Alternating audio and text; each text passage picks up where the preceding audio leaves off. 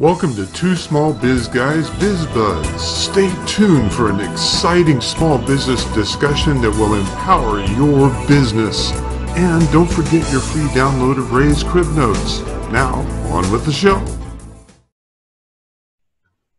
Hi, and welcome again to Biz Buzz with Ray. and Zen. Yeah. And I'm going to give you the big introduction. yeah, well, I'm such a small part in this play. Okay.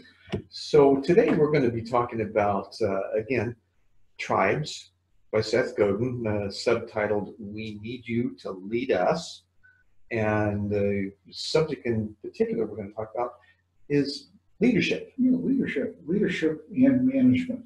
So one of the aspects is interesting. Right? Is, They're not the same.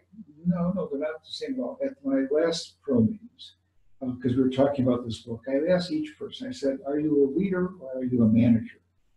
And the question is, what is the definition of leadership? Depends on the time of day. And that's right. Yeah. Well, the, the the answer that came back was in small business, and we have to serve both roles. Mhm. So Godin's definition of leadership is they break the status quo.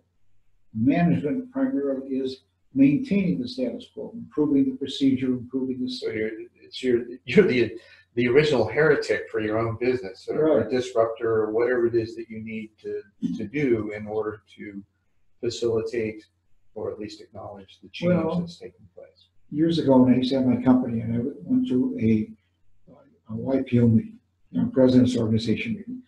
My people would say when I came back, okay, what is the new idea today we're going to be doing? So basically, from the outside, ideas came back in to improve the company. So as a leader, you have to be a disruptor. You can't accept the status quo. So as a manager, your, your job is to make sure there is consistency, repetitiveness, and you can depend upon what's going out or doing.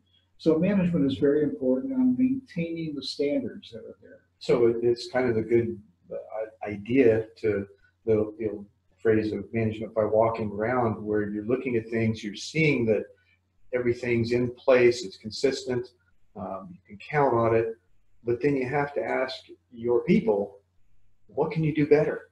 What do you see that we can change that'll improve our performance or that will make life better, better in general for all of us? Well, okay, so that aspect goes to change. People, a lot of people don't like change. And, but some people also say we need That's change. old guys, you know, we're, we're resistant Yeah, to yeah, change. I think yeah, that you're that beer, so people, oh, Yeah. that, that is a Um, change. It is. So the the younger generation, the millennials especially, have grown up on change, and so they're they seem to be a lot more flexible. Well, they grew up, yeah, that's true. They grew up in a, in a generation where change is constant. Uh, we grew up, or at least I grew up in a generation where change took a lot longer. Yeah, you are a generation ahead of me. Yes, I'm a generation ahead of you. That's in a thought process. So how's that? But the, but, but the aspect is leadership is breaking the status quo. Management is maintaining the status quo.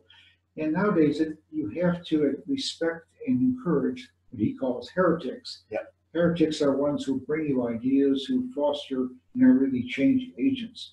And you're never too old or young to be a heretic. You see something, you, you got a question, you want to present an idea, um, do it.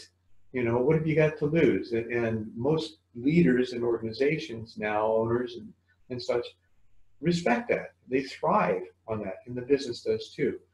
So, one of the things that we offer are Ray's crib notes on the book as well, and, and many others.